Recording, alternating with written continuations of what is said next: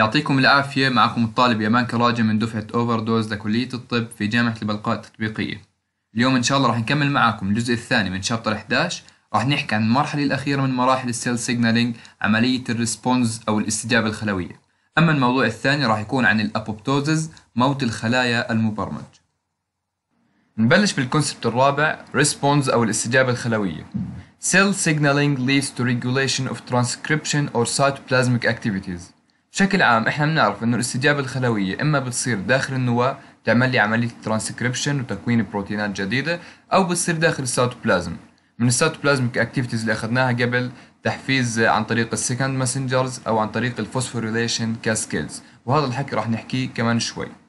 The cell's response to an extracellular signal is sometimes called the output response. استجابة الخلية للمؤثر الخارجي أو الإشارة الخارجية بنسميها إحنا output response. Nuclear and cytoplasmic responses. Ultimately, a signal transduction pathway leads to regulation of one or more cellular activities. بحكي لك هون انه في نهاية المسار الناقل للإشارة إحنا بنوصل لاستجابة أو أكثر داخل الخلية. The response may occur in the cytoplasm or may involve action in the nucleus. عملية الاستجابة الخلوية زي ما أخذنا قبل شوي إنها بتصير إما في السيتوبلازم أو داخل النواة.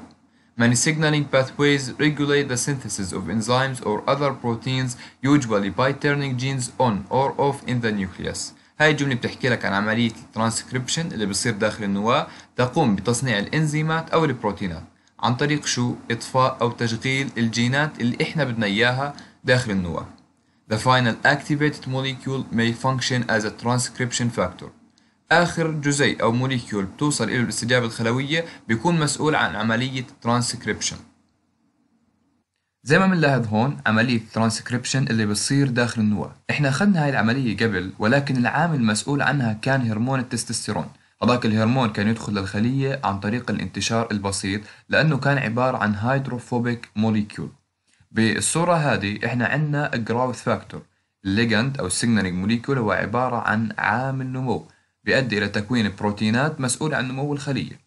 بالمرحلة الأولى ال reception ال growth factor بيرتبط بال receptor بالمرحلة الثانية ال transduction بدخل ب phosphorylation cascade تسلسل من عمليات الفسفرة للبروتينات. وآخر بروتين يتم تحفيزه أو إنزيم بدخل للنواه عن طريق ال nuclear pores أو الثقوب النووية بوصل للان أكتيف ترانسكريبشن فاكتور هو العامل المسؤول عن عملية إطفاء وتشغيل الجينات المطلوبة. لما يصير هذا العامل active بيرتبط بجزيء ال DNA بيعمل لنا turning on or off للجينات بيعطيني رسالة mRNA جديدة. هاي الرسالة بترجع تطلع برا ال nuclear pores بتروح على الرايبوسوم وبتكون لي بروتينات جديدة مسؤولة عن عملية ال growth أو النمو. Other pathways regulate the activity of enzymes. بحكي لك إنه في مسارات نقل إشارة ثانية بتنظم لي نشاط ال enzymes. مثلا بالصورة هاي بنلاحظ إنه ال substance أو ال ligand اللي بيرتبط مع الإنزيم الأول بتحول للإنزيم اللي بعده واللي بعده لحد ما بالآخر يعطيني product. هذا إحنا بنعتبره pathway بنظم لي نشاط الإنزيم. من شوي أخذنا كيف الاستجابة الخلوية بتكون داخل النواة بعملية الترانسكريبشن هلا بدنا نشوف ال cytoplasmic response to signal كيف الاستجابة الخلوية بتكون داخل السيتوبلازم وراح نوضح كمان عملية ال stimulation of glycogen breakdown by epinephrine أخذنا سابقا أنه العالم ساذرلاند هو أول من اكتشف هرمون الإبنفرين أو هرمون الأدرينالين ولاحظ تأثيره على الخلية.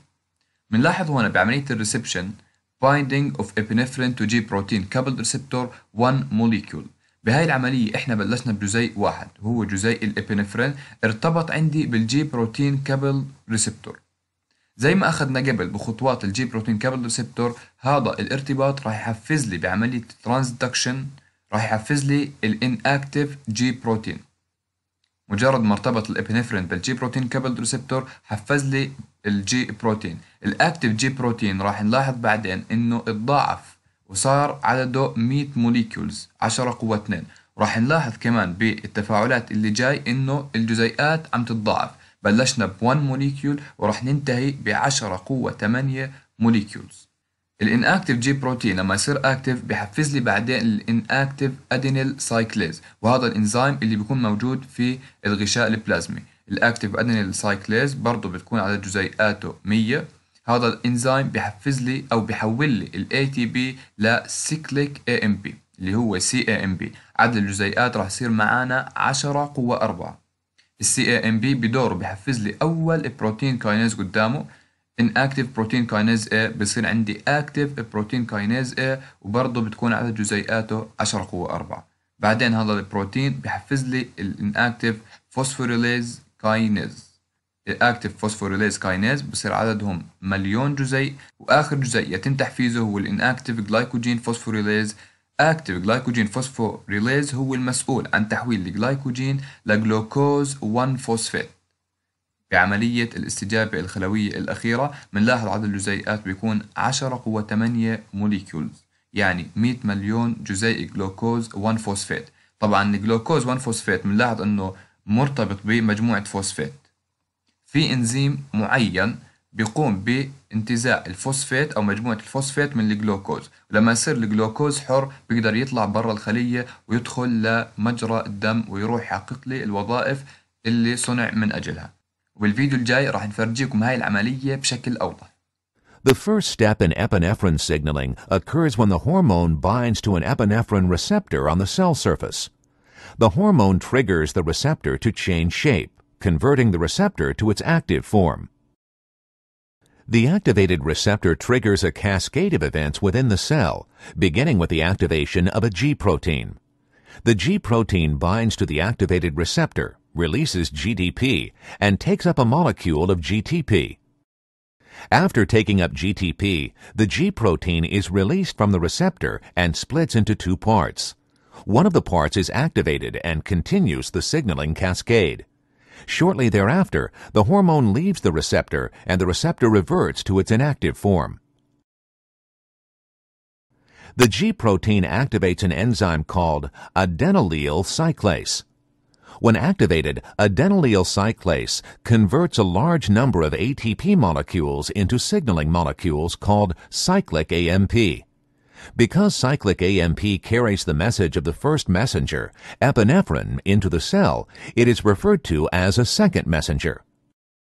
In response to an internal timer, the G protein soon inactivates itself by cleaving GTP, and the subunits reassociate. With the G protein no longer attached, the adenylyl cyclase deactivates and can no longer convert ATP into cyclic AMP. The cyclic AMP molecules produced by adenylyl cyclase continue the signaling cascade by binding to an enzyme called protein kinase A. This binding causes protein kinase A to separate into subunits, two of which are catalytically active. The activated protein kinase A subunits perform chemical reactions in which they add phosphate groups to another type of enzyme called phosphorylase kinase. The addition of the phosphate groups activates phosphorylase kinase. The phosphorylase kinase phosphorylates another enzyme in the cascade called glycogen phosphorylase. When phosphorylated, glycogen phosphorylase also becomes activated.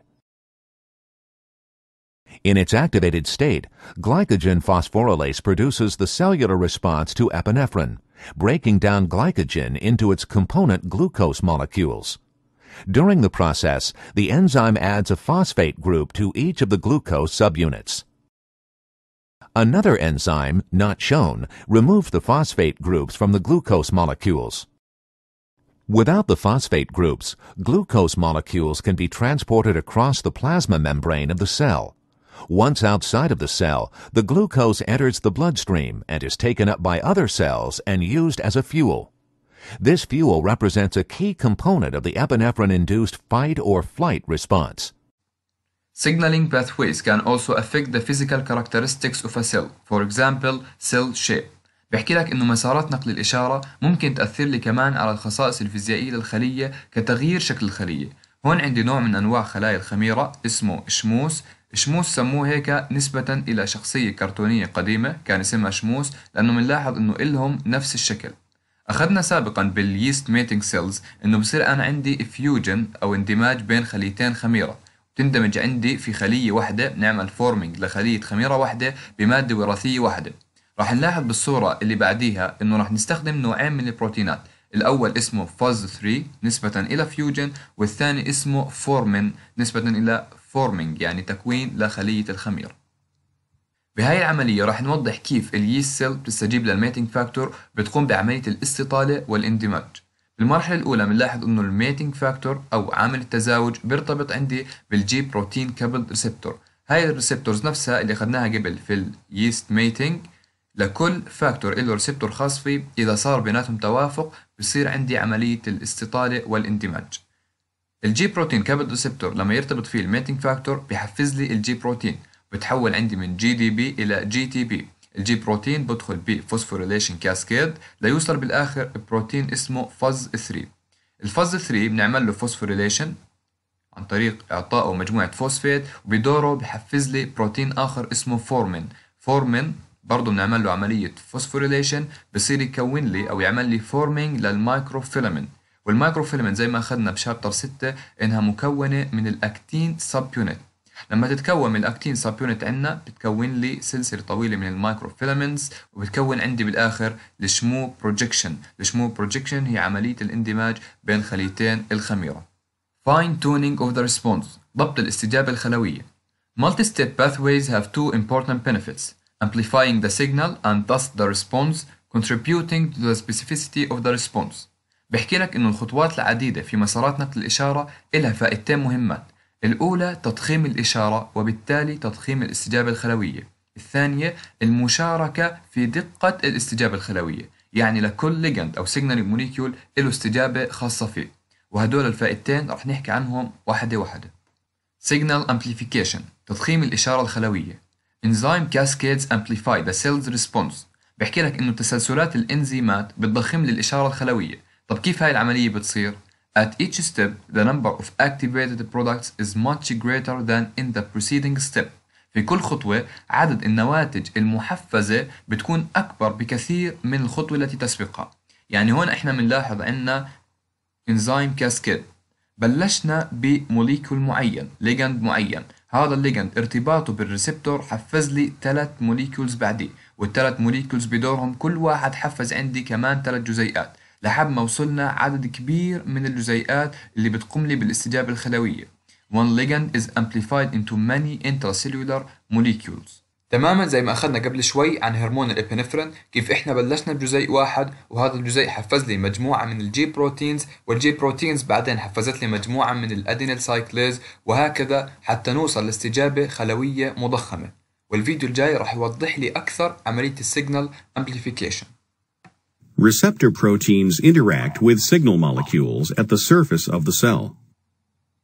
In most cases, the signals are relayed to the cytoplasm or the nucleus by second messengers, which influence the activity of one or more enzymes or genes inside the cell.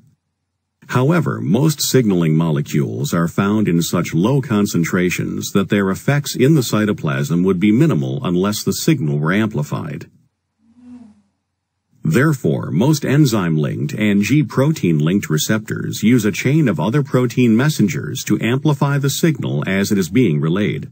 In the case of a protein kinase cascade, one cell surface receptor activates many G-protein molecules. Each G-protein activates many adenylyl cyclases. Each cyclic AMP in turn will activate protein kinases, which then activate several molecules of a specific enzyme. The end result is rapid production of high levels of the final product. The specificity of cell signaling and coordination of the response دقة عملية السيل signaling وتنظيم الاستجابة الخلوية Different kinds of cells have different collections of proteins طبعا في مختلف أنواع الخلايا عندي أنواع مختلفة من البروتينات These different proteins allow cells to detect and respond to different signals هاي الأنواع المختلفة من البروتينات بتسمح للخلايا إنها تحدد وتستجيب للإشارات المختلفة. Even the same signal can have different effects in cells with different proteins and pathways. ممكن الإشارة نفسها يكون لها أكثر من تأثير على الخلية بسبب اختلاف البروتينات والباثواي اللي بترتبط فيها. Pathway branching and crosstalk further help the cell coordinate incoming signals. عندي نوعين من أنواع الباثواي الأول branching تفرع والثاني اسمه crosstalk. هدول الاثنين بينظموا لي الإشارات الخارجية اللي بتيجي على الخلية وكل واحد فيهم رح نشرحه بالصور اللي جاي. هاي الصور بتوضح لي ال specificity of cell signaling دقة عملية ال cell signaling. كل صورة فيها خلية معينة بتستجيب بطريقة مختلفة عن الثانية. Cell A pathway leads to a single response. بالخلية A بنلاحظ إنه ال signaling molecule بيرتبط مع ال receptor بحفز لي أول relay molecule بعدين ال relay molecule اللي بعده وبيعطيني استجابة خلوية واحدة. بال cell B pathway branches leading to two responses. هاي طريقة ال branching اللي حكينا عنها قبل شوي إنه ال signaling molecule بيحفز لي أول relay molecule قدامه و relay molecule بعدين بتفرع وبحفز لي نوعين مختلفين من البروتينات. كل واحد مسؤول عن استجابة خلوية معينة. Cell C crosstalk occurs between two pathways. في هاي الخلية بدنا نوضح عملية ثانية عملية ال crosstalk اللي بتصير بين ال relay molecules عندي هون نوعين مختلفين من ال receptors في الغشاء البلازمي. كل واحد بيرتبط فيه نوع مختلف من ال signaling molecules وبرضه بيحفزوا لي انواع مختلفة من ال relay molecules بنلاحظ بال pathway الأول تبع ال receptor الأول في عندي relay molecule بيعتمد على relay molecule ثاني في ال pathway الثاني. إما يعمل له activation اور inhibition وهي هي عملية ال crosstalk اللي بتصير بين ال relay molecules يعني كأنهم بتواصلوا مع بعض. وهذا الإشي بالآخر بيعطيني response معين سواء كان activation أو inhibition لازم الخليه تستجيب بطريقة معينة. إما بتكمل تصنيع أو بتوقف تصنيع. نيجي لآخر نوع من أنواع ال cell signaling سيل دي different receptor leads to a different response. بحكي لك ببساطة إنه مختلف أنواع ال receptors بتعمل لي استجابات مختلفة. Signaling efficiency, scaffolding proteins and signaling complexes فاعلية الإشارة عندي نوع جديد من أنواع ال relay proteins هذا النوع اسمه scaffolding proteins. Scaffolding proteins are large relay proteins to which other relay proteins are attached. هو نوع من أنواع ال relay proteins الكبيرة بيرتبط فيها أنواع ثانية من ال relay proteins والصورة الجاية راح توضح لنا هذا التركيب. Scaffolding proteins can increase the signal transduction efficiency by grouping together different proteins involved in the same pathway. بحكي لك scaffolding proteins بتزيد لي فاعلية عملية نقل الإشارة عن طريق تجميع مختلف البروتينات في ال pathway نفسه. بنلاحظ بالصورة هاي تركيب ال scaffolding protein scaffolding protein زي ما حكينا هو عبارة عن large relay protein بيرتبط فيه أنواع مختلفة من ال protein kinases لما ال signaling molecule توصل لل receptor ال receptor بحفز لي ال scaffolding protein لما يرتبط فيه وال scaffolding protein بدوره بحفز لي ال protein kinases عشان يدخلوا في ال phosphorylation cascades أو غيره. Termination of the signal إنهاء الإشارة. Inactivation mechanisms are an essential aspect of cell signaling. آليات التعطيل وقصدهم تعطيل الإشارة هي جانب مهم من عملية ال cell signaling ليش آليات التعطيل مهمة؟ لو ضل في جسم الإنسان الجزيئات المسؤولة عن الاستجابة الخلوية محفزة ومستمرة بشكل دائم راح يضل في عندي استجابة خلوية مستمرة. وهاي الاستجابة بتضل تصنع لي جزيئات بشكل مستمر وهذا الإشي مضر وممكن يسبب أمراض لجسم الإنسان. من الأمثلة المذكورة عن هذا الإشي مرض الكوليرا. مرض الكوليرا سببه الرئيسي ازدياد عدد جزيئات AMP داخل الجسم. والسبب في ذلك نوع معين من البروتينات اللي بتضلها مرتبطة بال adenylyl cyclase وبتخليه محفز بشكل دائم وهو بدوره بيقوم بتحويل ال ATP بالخلية ل CAMP فهذا الإشي بسبب لي مرض الكوليرا اللي إحنا بنعرف هو مرض ال dehydration أو المرض اللي بسوي جفاف للجسم When signal molecules leave the receptor, the receptor reverts to its inactive state. لما جزيء الإشارة يغادر المستقبل المستقبل بيرجع لحالته الطبيعية ال inactive. كل الجزيئات في الجسم ما دامها محفزة راح تضلها شغالة بشكل مستمر. يعني مثلا ال receptor الموجود في الغشاء البلازمي مجرد ما غادر ال signaling molecule بيرجع لل inactive state نفس الإشي ال G protein مجرد ما غادرته مجموعة الفوسفات بيرجع ل GDP وبيرجع لل inactive state وآخر إشي ال adenylyl cyclase مثلا الانزيم اللي بيكون موجود في الغشاء البلازمي مجرد ما غادروا ال G protein بيرجع لحالته الأصلية ال inactive يعني إحنا بنلاحظ إنه كل الجزيئات عم تعتمد على بعض. ال signaling molecule أو جزيء الإشارة لما غادر ال receptor رجع هذا لل inactive state وبعديه رجع ال G protein لل inactive state وآخر إشي رجع عند الإنزيم لل inactive state فهاي هي ال inactivation mechanisms آليات التعطيل اللي بتصير داخل الخلية. وصلنا لل concept الخامس والأخير Apoptosis Programmed Cell Death Integrates Multiple Cell Signaling Pathways. عملية الاستماتة أو ال apoptosis is programmed or controlled cell suicide. هي عملية موت الخلايا المبرمج أو انتحار الخلايا. كيف بتصير هاي العملية؟ A cell is chopped and packaged into vesicles that are digested by scavenger cells. الخلية تقطع وتحمل داخل حويصلات. هاي الحويصلات يتم هضمها وتحليلها عن طريق ال scavenger cells أو الخلايا الزبالة. من الأمثلة على هاي الخلايا macrophages mononucleated cells هاي الخلايا نفس مبدأ ال phagocytosis أو عملية البلعمة بتقوم بهضم الخلايا الميتة من الأنسجة Apoptosis prevents enzymes from leaking out of a dying cell and damaging neighboring cells. من فوائد عملية ال apoptosis إنها بتحافظ على الإنزيمات إنها تتسرب من الخلية الميتة وتدمر لي الخلايا المجاورة للخلية الميتة. هاي الصورة بتوضح لي عملية ال apoptosis ل human white blood cell. عندي هون نوع من أنواع خلايا الدم البيضاء هاي الخلية مجرد ما خلصت وظيفتها أو ما كان إلها فائدة داخل الجسم بتقوم بعملية الانتحار أو الأبوبتوزز وزي ما حكينا إنها تقطع وتحمل داخل حويصلات هاي الحويصلات بتيجي آه، خلية سكافنجر بتهضم هاي الحويصلات وبتحلل اللي جواتها Apoptosis in the soil worm Senor Habiditis elegans أو C. elegans اختصارا هلا راح نحكي عن دور الأبوبتوزز أو موت الخلايا في نوع من أنواع ديدان التربة Apoptosis is important in shaping an organism during embryonic development عملية الأبوبتوزز عملية مهمة في تشكيل وتكوين الكائن الحي أثناء تطور مراحله الجنينية. The role of apoptosis in embryonic development was first studied in C. elegans. بحكي لك أول مرة تمت دراسة الأبوبتوزز في تطور المراحل الجنينية كان في نوع من أنواع ديدان التربة C. elegans. In C. elegans, apoptosis results when specific proteins that accelerate apoptosis override those that put the brakes on apoptosis. بحكي لك في هذا النوع من أنواع الديدان عملية ال apoptosis تنتج عن طريق نوع من أنواع البروتينات هاي البروتينات بتسرع عملية موت الخلايا على البروتينات اللي بتمنع هاي العملية الصور اللي جاي راح توضح لنا الحكي اللي حكيناه. هاي الصورة بتوضح لي المرحلة الأولى من مراحل ال apoptosis اللي بتصير في نوع من أنواع ديدان التربة ال C. elegans في الحالة الطبيعية لما يكون ما عندي أي جزيء مسؤول عن موت الخلية no death signal بيكون ال receptor المسؤول عن استقبال هاي الإشارة inactive. داخل هاي الخلية في عندي ثلاث أنواع من البروتينات Ced9, Ced4 and Ced3 كل واحد راح نحكي شو وظيفته. بالنسبة ل Ced9 فهو بروتين موجود في الجدار الخارجي للميتوكوندريا شو وظيفته؟ inhibits Ced4 activity بمنع لي نشاط بروتين Ced4 طول ما الخلية مش واصلها ال death signaling molecule بيضل ال Ced 9 شغال وبيمنع لي نشاط ال Ced 4 إذا وصل ال signaling molecule المسؤول عن موت الخلية زي ما راح نشوف بالسلايد اللي جاي راح يوقف عمل ال Ced 9 وال Ced 4 عندي تشتغل وتحفز لي ال Ced 3 البروتين اللي بجنبيها ويبلش عندي موت الخلية.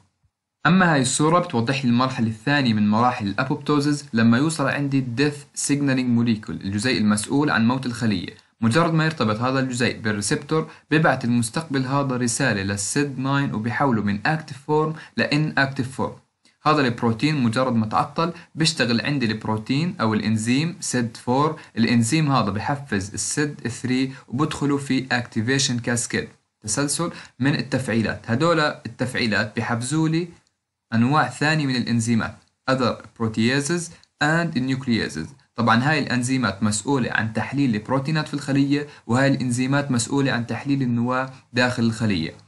وطبعا الفائدة من ال apoptosis زي ما حكينا إنها بتمنع هذا النوع من الأنزيمات إنها تتسرب برا الخلية وتأذي أو تدمر الخلايا المجاورة.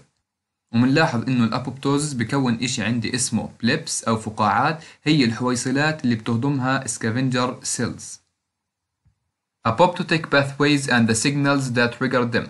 مسارات موت الخلايا والإشارات التي تحفز هذه المسارات. Caspases are the main proteases. That carry out apoptosis. بحكي لك هون إنه ال caspases من أهم أنواع ال proteases اللي بتشغل لي ال apoptosis للخلايا. وزي ما حكينا ال proteases هي عبارة عن أنزيمات بتحلل لي البروتينات في الخلية. Apoptosis can be triggered by.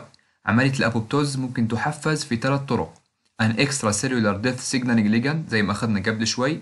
DNA damage in the nucleus تلف وضرر الدي إن اي داخل النواة. protein misfolding in the endoplasmic reticulum. الطي الخاطئ للبروتينات داخل الشبكة الاندوبلازمية. Apoptosis evolved early in animal evolution. بيحكي لك إنه عملية الأبوبتوزز ظهرت مبكرا في تطور الحيوانات and is essential for the development and maintenance of all animals وهي عملية مهمة لتطور وبقاء الحيوانات. Apoptosis may be involved in some diseases for example Parkinson's and Alzheimer's. ممكن الأبوبتوزس يسبب لي بعض الأمراض زي مرض باركنسون وهو مرض يصيب الجهاز العصبي مرض الرعاش ومرض الزهايمر. Interference with apoptosis may contribute to some cancers. وكمان التداخل في عملية الأبوبتوزز ممكن يسبب لي بعض أنواع السرطانات خاصة في المراحل الجنينية الأولى. وآخر صورة معانا بتوضح لكم تأثير عملية ال apoptosis على تطور يد نوع من أنواع الفئران أثناء مراحله الجنينية. هون عندي interdigital tissue نسيج بين إصبعي بيختفي هذا النسيج عن طريق عملية ال apoptosis موت الخلايا بين هدول الأصابع حتى يعطيني بالآخر يد سليمة ومتكاملة والفيديو الجاي راح يوضح لكم طريقة عملية ال apoptosis بشكل كامل